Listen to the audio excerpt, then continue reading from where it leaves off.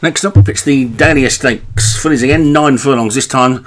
And this one's for the older fillies and mares. They're all four year olds, though, these. Nine furlongs, Group 3. At the top, City Art Gallery. Jim Murray. Stimulate, Joshua Sutherland. Fake Papers.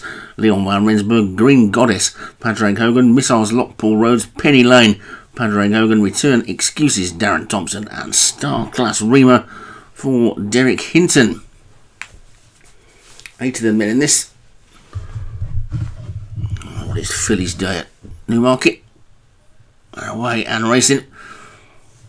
And coming through, it looks like Return Excuses is going to try and get into the lead. And She's going to try and get across to the fence as well. So it's Return Excuses then who's got the roll, got the lead from the nose banded Stimulate in second, who's also got over to the rail.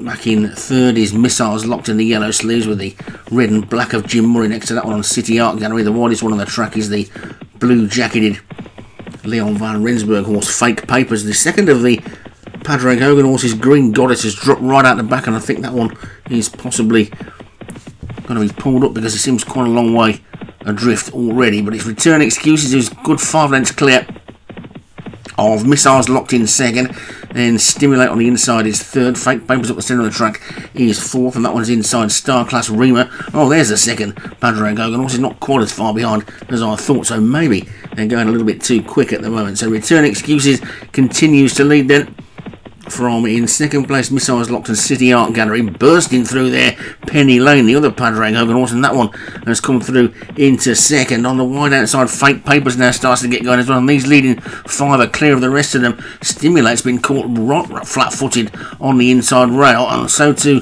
has City Art Gallery there's still two and a half furlongs to go so plenty of time for those ones who got caught for pace to get back into it. Return excuses though, he's still going well in the leads. a furlong and a half to go. She's still three lengths clear of Missiles Locked, who's moved into second. Fake Papers is third. Penny Lane's runs now petered out. City Art Gallery's trying to come through. Stimulate's now got a second win. Half a furlong to go. Return excuses coming to the end of its tether. Here comes City Art Gallery on the outside, but return excuses might just hold on, and I think she will. She has.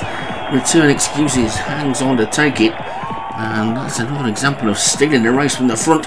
We saw a lot of that at Kempton today. Didn't necessarily think we'd see here, but return excuses doesn't need any excuses and has returned into the winners enclosure for Darren Thompson. City Art Gallery for Jim Murray was second, Missiles Lock Paul Rhodes third, Fake Papers for Leon Van Rensburg fourth, and Stimulate for Joshua Sutherland under that penalty was fifth.